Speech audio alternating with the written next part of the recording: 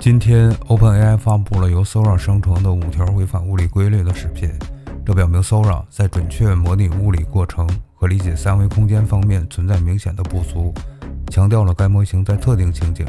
因果关系和空间细节方面的局限性，使其在复杂情境下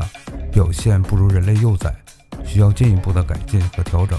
以使 Sora 更有效地模拟真实世界的物理现象。让我们来看看 OpenAI 的官方说法。注意到什么奇怪的地方了吗？